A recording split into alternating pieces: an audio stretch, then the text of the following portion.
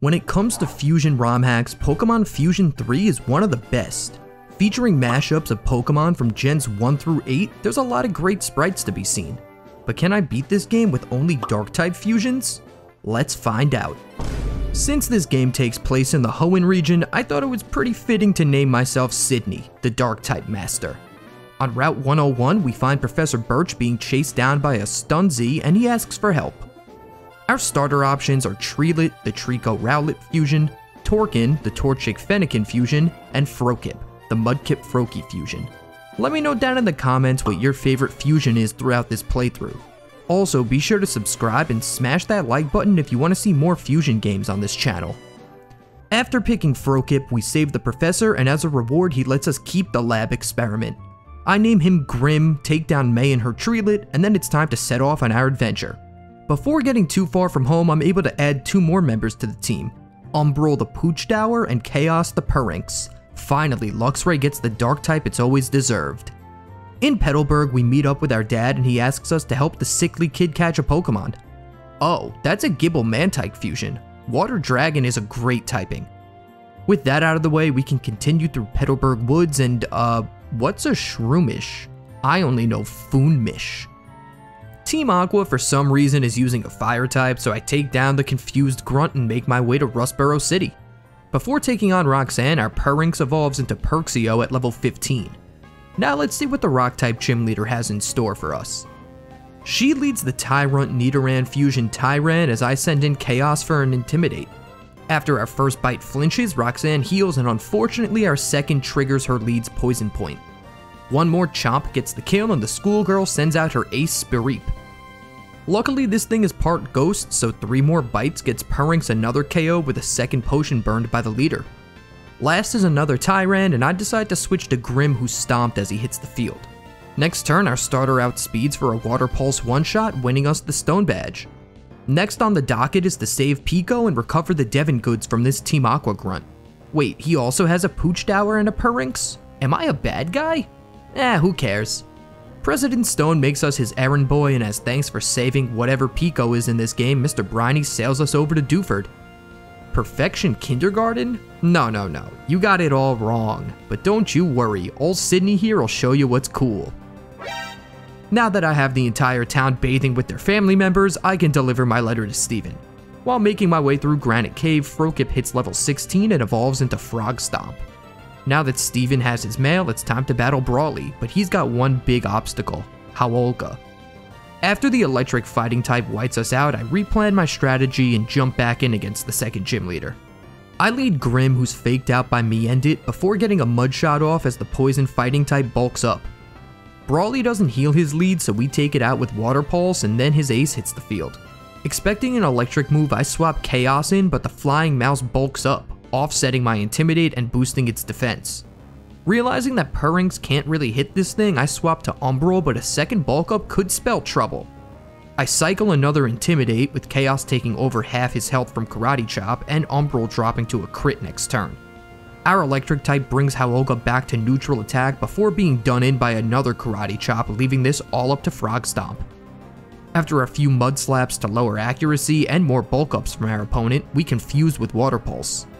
Next turn, the Luchador hits itself and a crit Water Pulse is enough to take it out before it could even damage Grim. Brawly's last mon is a Meta Mask which only hits a Nightshade before being killed by two Water Pulses. And with that, badge number 2 is in our hands. We hitch another ride with Briny over to Slateport where Team Aqua is once again up to no good. After bodying some grunts, we're introduced to Archie, the leader of the Water Cult. Now that Captain Stern has the Devon parts, we can head for Mauville, on Route 110, we run into our next team member, Shady the Tailabee.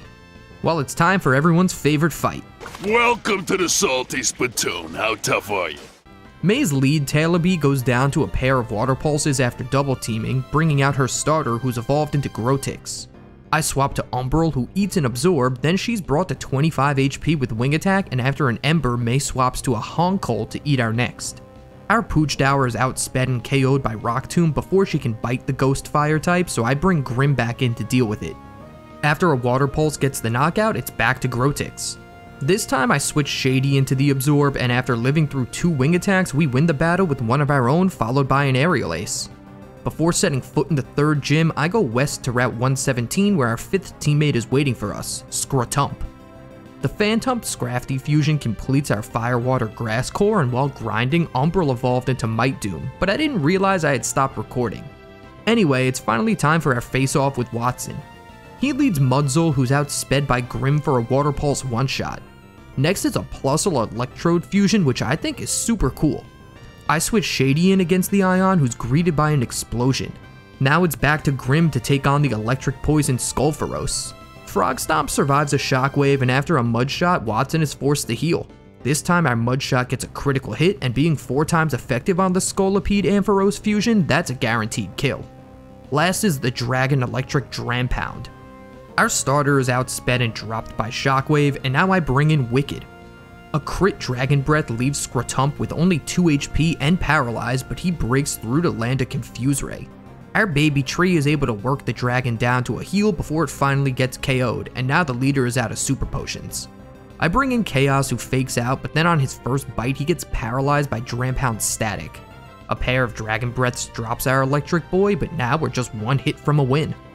That means I can go to Umbral who takes 50% from Shockwave and she can wrap things up with a Silk Scarf boosted headbutt. That's the Dynamo badge. From here, we pass through Fiery Path and on Route 112 finally fill out our team with this awesome Rockruff Carvanha fusion, Rockvana. Then Archie scares some magma grunts out of Meteor Falls and we chase them down to Mount Chimney for a showdown with their leader Maxie. The Landlover leads Might Doom who outspeeds Frog Stomp for a bite, then takes half its health from Water Pulse. The Mighty Mightyena Houndoom fusion flinches us with its next bite but then hits itself and Grim puts it out of its misery. Against Tailorby, I decide to give our newest member a chance, and man, I love that back sprite. Eclipse is barely hurt by an aerial ace from the bird and then fires back with a crit rock tomb to kill. Last is Maxi's ace Castle, the fire bug type. Since we're 4 times effective, I keep Rockvanha in and easily finish this battle with one more rock tomb. With Team Magma gone, our journey down the mountain leads us to Lavaridge Town where we get an egg from this old woman. After getting in some sprints, we hatch ourselves a beautiful Raiarua, which I'm so excited to add to the team. I get him up to snuff, and then before taking on Flannery, we have a lot of evolutions. First, Purrynx evolves into Luxpard, which is another unreal sprite. Then Tailorby evolves into Sweebuzz, and Rockvanha into Lycarpedo. Interesting thing about this Pokemon, it actually has two forms, and the one you get depends on whether it has a higher attack or defense stat. The midday form that we have here is because Eclipse had a higher attack. Last but not least, Raiarua evolves into Lucarourk. Let's see if the fire type leader can stand up to our powerhouses. Like Lycarpedo is able to sweep Flannery's entire team with rock slides. The only Pokemon that wasn't one shot was Excaheat, but thanks to our rough skin, it took itself out after being left with 1 HP. Now that we've embarrassed one gym leader, let's do the same to our dad. He leads. Jesus Christ, that's Jason Bourne. After Depth's double kick does over half, Quagroll crits a mud shot and lowers our speed. We're still fast enough for a swift kick to kill next turn as Norman sends out a Lickoach. Double kick claims another victim and next Furroat defense curls to only take half from our Feet of Fury. Then the Furret Gogoat fusion crits a slam to take our lead down. Umbral's Ember is just shy of the knockout, and after a few hyper potions, we get the grass type to 50% with a burn before our dad switches it out for his ace Lickicash. I let Might Doom go down to a magnitude in order to get a free swap into Chaos who's able to fake out this abomination turn 1. Then a critical hit Spark finishes the fat fish, leaving Norman with only the ailing Furroat. One bite plus burn damage later, and we've got ourselves the balance badge. In the Weather Institute, Scrotump finally joins the evolution party as he becomes Scravenant. Two Needle Arms take care of Shelly's Lycar and Lycanpedo, and with the Institute saved, we set our sights toward Fortree City. But since something's blocking our path to the gym, I meet up with Steven to grab the Devon Scope. Oh, I really don't like this thing. Thanks, Depth. Time to see what Winona's got. Her lead Ponyta is super cute and gets a bit of damage with Ember since we miss our first Rock Slide. Once the little horse gets buried, the flying type leader sends in Marilato and we miss again. Bubble Beam does less damage than I thought it would, but the evolved form Azugiot outspeeds and her Bubble Beam is much stronger. With Eclipse down, I bring in Chaos whose fake out Spark combo is more than enough to KO Winona's ace after taking around 50% from Double Edge. The Dragon Water Lapple is next, but Luxpard's first bite gets a flinch. Even with two Hyper Potion uses, Chaos gets the kill by putting on an incredible display of flinching on 5 out of 6 bites. Last is Unflux, who actually lives a spark with around 30% and drops our Thundercat with Ice Beam. No worries though, as Umbral is able to fire off an Ember to drop the Ice Cream Pheasant, getting us yet another gym badge. After a quick stop at Mount Pyre, we open the secret passage, revealing the Magma hideout. Maxie shows Groudon the blue orb, but the continent Pokemon looks a little different. That's because it's actually fused with Palkia. Either way, the legendary runs off and we hightail it to Lilycove for our last battle with May. She leads the other Lapras evolution, Lapulton, as I send out Sweebuzz. After fighting through Leech Seed, Confuse Ray, Protect Stall, Shady is able to drop the Apple Tart and a Zugiat hits the field. I swap Chaos in to eat Wing Attack and pick up a KO next turn with Thunderbolt. Then her Honchkrow goes down to a pair of bites and we finally get to see her starter's final form, Desotile. Similar to Rogvana, the starters in this game have two forms and the one you end up with depends on whether your attack or defense is higher. May's Desotile is Grass Ghost and here's what the Grass Flying one looks like. With that taken care of, we fly over to Slateport but are just too late to stop Archie from stealing Captain Stern's submarine. You know, Emerald really goes through a lot of trouble just for you to miss the sub twice. At least now we finally evolve Frog Stomp into Swap Ninja whose gender changed for some reason. Since Grim has a bold nature, I didn't need to worry about getting the Dark type evolution with the other being Water Ground. Now that we can surf to Eastern Hoenn, we gain access to Shoal Cave where another Dark type awaits us, Patcho, the Pancham Cubchoo fusion. I name her Vortex and immediately grind her up until she evolves into Bear Goro. Time to take on Tate and Liza. The telepathic twins lead Xavial and Lunassear against Grim and Eclipse. The Xatu Weavile fusion starts things off with a big ice beam that ends up freezing Lycarpedo. Then it also avoids our Muddy Water, which does half of the Pinsir Lunatone fusion's health as it misses Megahorn. Now I swap Umbral in for Eclipse, who eats Aurora Beam, and then Muddy Water does some chip to the bird and takes out the rock. Thanks to an accuracy drop, Xavial misses Nightshade and is smoked by Might Doom's Flamethrower. As the twins' last Pokemon, Shandagross, comes in, we crit a Muddy Water, leaving it in the red, and do around 30% to Soul Cross, who knocks Umbral out with Brick Break. I bring in Chaos to fake the Fighting Rock out, and after Meta Ghost gets a heal, our Muddy Water does 50% and leaves Soul Cross with 1 HP. The Heracross Solrock fusion gets another heal next turn as Luxpard's Crunch finishes Shandagross. One more heal comes out, and then we have no problem finishing things with one last Muddy Water from Grim, 7 badges down. Team Magma is causing problems at the Mossdeep Space Station, but the only new mons we see here are Maxie's Gangossil and Steven's Rapanite. Once the cult leader realizes his dream of expanding the landmass is dumb, we give chase to Archie at the seafloor cavern. We make it to Kyalga before him, but of course the pirate challenges us to a battle. After dropping his Might Doom, we're faced with a new fusion, Walkader. I fire off a superpower with depth, but it comes up just short of the kill. We hang on through Karate Chop with 4 HP, and not expecting Archie to heal, I went for extreme speed. Then we fail to finish the Walrus again as it takes our Lucarourk out with another Karate Chop. Chaos comes in and can fake out for an uncontested knockout. Then it just takes two Thunderbolts to KO Lycanpedo Midnight, giving us the win over the second boss. Archie then tries to control the legendary fusion, of course using the wrong orb, and throws the planet into turmoil. Naturally, it rests on our tiny shoulders to save the day, so we make our way to Sootopolis City where the behemoths are facing off. In order to stop them, we need to head to the Sky Pillar where our last team member awaits us, Larva Star. After snagging the soon-to-be Dark type, we awaken Raytina and send it off to quell the other legends. Before taking on Juan, our newest fusion evolves into Pupa Star, who we shove in the box for now. Time for badge number 8. Gibtyke is first, who swiftly drops to a fake out T-Bolt combo from our big cat. Next is Lickicash, who's taken down by some Thunderbolts after hitting an Earthquake and being healed. Kingster, while very cool, can't stand up to our lightning, but Juan has the ground type swap ninja, so after misclicking Thunderbolt again, we're hit by Muddy Water. From here I swap to Wicked who eats two takedowns and destroys our starter's doppelganger with a critical hit 4 times effective Giga Drain. Last is the Ace King Algae, and since I accidentally gave Luxpard an extra rare candy, I decided to leave Wicked one level lower. I bring Grim into a Sludge Bomb from the Poison type and watch as a non-stab Mud Shot does minimal damage. At least we get two speed drops before a second Swap Ninja dies on this battlefield. I decide it's time for Vortex's debut, but her crunch comes up just shy of the kill, and after another poisonous blast, the leader uses a hyper potion.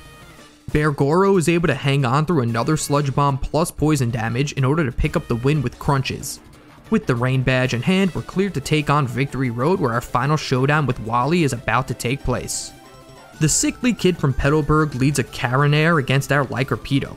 Since this thing is Dragon Bug type, it drops to a single Rock Slide and then another really cool fusion Galvern comes in. We're Thunder Waved and Signal Beamed, but since this thing retained Noivern's flying type instead of Dragon, it just takes a single Rock Slide to kill. With the Grass type Furroat hitting the field, I decide to swap Umbral into a Leaf Blade. Then after Flamethrower leaves the Goat Ferret on 1 HP, it knocks itself out with Double Edge Recoil. Shockingly, Wally actually has the last starter, Delzikin, and this one is a fighting type as opposed to the psychic one. I accidentally flamethrower again as the Blaziken Delphox fusion bulks up. Then thanks to its speed boost ability, it takes Might Doom out the following turn with Slash. Fortunately for us, Grim is defensive, so after the plus 1 Slash does about 50 damage, our Swap Ninja proves it's the best starter with a Surf KO. Last is Rosewile, so I get my Water type out of there as Vortex takes the Giga Drain. Next turn, we 5 spot an arm thrust, but then we're toxic. I decide to switch to depth for stab fighting, but the Mawile Roserade fusion goes for iron defense. Superpower is still strong enough to break through that steel wall, and that's it for Wally.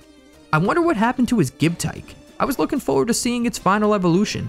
With our last obstacle out of the way, we can finally take on the Elite Four. Here's the team I decided to bring, and at level 52, we can face off against... Sydney? He leads Might Doom, who's outsped in one shot by Grim Surf. Next is Scravenant, so I switch negative into a Giga Drain. Then we Signal Beam, but come up just short of a knockout, and the Grass type Leech Seeds us. I crunch on the heel for some chip, but Leech Seed gets the tree back to full health, so I decide to Screech before going down. Thanks to the defense drop, Depth is able to double kick for a kill as Sydney brings in Sweebuzz. I pivot to Eclipse who eats Air Cutter and then we're outsped and hit with Bone Rush before getting a Rock Slide off. The bird survives, but we hang on through a 3 hit Bone Rush to pick up the KO with Slash. Now the Dark Master's ace comes in, Lucarourk, who E-speeds to knock out our Lycarpedo. I bring Chaos in for an Intimidate and fake out the powerful fusion, but its inner focus allows it to fire off a superpower for a one-shot. As Wicked comes in, the opponent's Swords dances and Brick Break just isn't strong enough to kill. After a full restore, Brick Break does a round half, but next turn Superpower takes out another of my Mons. Although he's under leveled, Depth is able to come in and crit a double kick to knock out his brother, bringing out Sydney's last Pokemon, Lycanpedo. As a dual rock type, Lucarourk is able to take the final Mon down with a 4 times effective double kick, proving once and for all that we're the real Sydney. After raising everyone's level by 1, it's time to take on Phoebe and her ghosts. First is a Kratatomb as I lead Luxpard for an Intimidate.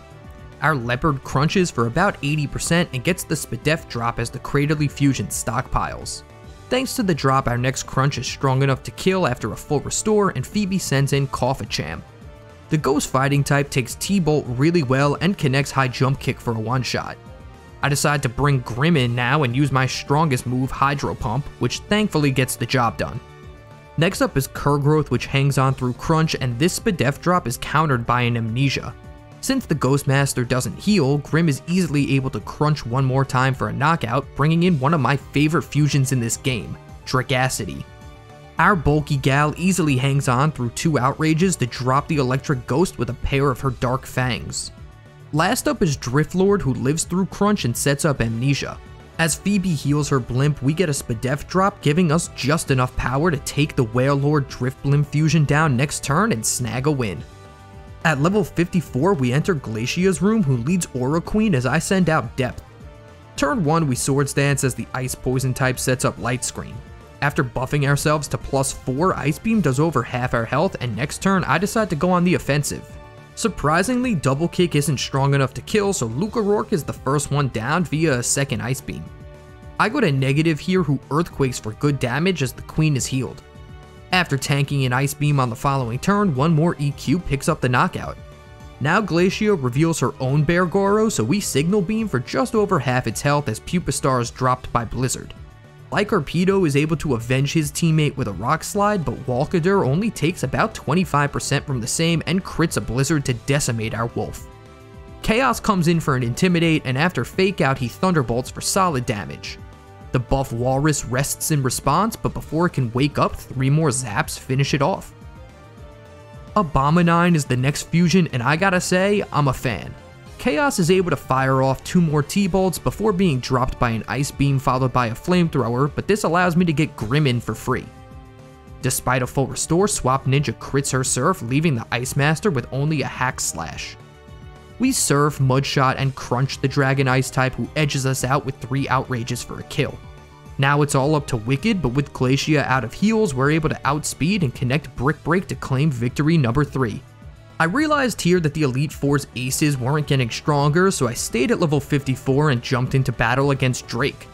His lead is Tyrant King, so I immediately switch Eclipse into Grim to tank Earthquake. Swap Ninja is able to surf twice before the Tyrantrum Nidoking fusion could do her in. Drake's next mon is Drampound, who's crit by our first Mudshot, and after missing Thunder, our next leaves it in the red. Unfortunately, this time the Hound connects, and that's the end of Grim. As a full restore is used, negative earthquakes the Drampa Boltund fusion back to the red, and as we're about to knock it out, we see a swap to Lapple. Pupistar is still able to do some chip with a signal beam before he's taken out by a Hydro Pump Outrage combo. I go back to Lycarpedo now, who outspeeds for a Rock Slide flinch, allowing us to get the kill next turn with another. The Dragon Master's Ace Escanite is next, whose bug typing is now Steel, so Rock Slide barely scratches the dragon as it Mega Horns Eclipse for a one-shot. If Rock can't kill, then Fighting can, as I have Depth superpower the dragon back into its ball. Goodreigen is next, and I forgot that this thing was Ghost type as I try to Extreme Speed it. I decide to go to Wicked who dodges Scary Face on the switch, but next turn is paralyzed by Body Slam. Scravenant is still able to get a crunch off, and then after two more body slams with a full para, we connect another chomp for the KO. Now it's back to Drampound, who's hanging on by a thread, but Drake sprays another full restore as our Giga Drain does abysmal damage. The Dog Dragon charges, so we get a little more chip with Brick Break before a Thunder takes us out. From here, I'm able to go to Chaos, who crits a fake out, and then, despite being paralyzed by Thunder, is able to connect Crunch to finish the battle and beat the Elite Four. All that's left now is to take on the champion of the region, Wallace. But first, I raise my Pokemon to level 55, where Pupistar finally evolves into the highly anticipated Volcanitar. I decide to lead our newest member against Wallace's Kingster, but immediately decide to swap to Wicked as the crab fails to protect. This turn it gets one off, and then we Giga Drain for good damage as the blue crab misses Guillotine. Now a full restore comes out as we crunch, and because of another protect, when we finally finish Kingster, our Scravenant is out of PP on its only grass type move. With the poison type King Algae next, I go back to negative who takes Sludge Bomb pretty well. Earthquake leaves the King of the Sea in the red as we tank a Hydro Pump, but thanks to Sand Stream, we pick up the knockout. Now the champ sends out his ace Gartine. Maybe he traded with Wally. Anyway, our Crunch does surprisingly low damage as Volcanitar is taken down by Hydro Pump. I go to Chaos now, but we bring the Water Dragon into healing range, so when it eventually takes us out with Outrage, it's still at around 30%. Luckily, Grim always gets the job done as her Crunch is strong enough to take out the Garchomp Mantine fusion, bringing in Sarapex. I swap Wicked into a Giga Drain, then trade Crunches with Hydro Pumps until Poison Point and Sand Damage do us in. Predicting another full restore, I Swords Dance with Depth, then Superpower, but it isn't enough as the bulky Fusion Hydro Pumps and again Sand Damage takes us out. Volcanitar seems to be hurting the team more than helping. It's back to Grim for me, whose old reliable Crunch picks up another knockout. Bascukingu is next up, who's very bulky as Crunch does around 30%. With Rain replacing the sand, Grim feels herself getting more powerful and crits her next deadly bite, leaving Wallace with only a lick of cash, and if it ain't broke, don't fix it. Crunch Spam is able to finish the champ's last Pokemon before it can drop our starter, and with that, we've beaten Pokemon Fusion 3 with only Dark types. The sprites in this game are some of the best I've seen, and you can really tell the creators put a lot of work into making each and every one of them. I ended up really loving my final team and thought these fusions were all pretty top tier. If you enjoyed the video and want to see more fusion content on this channel, be sure to smash that like button and subscribe so you don't miss out on the next one. Thanks so much for watching and I'll see you next time.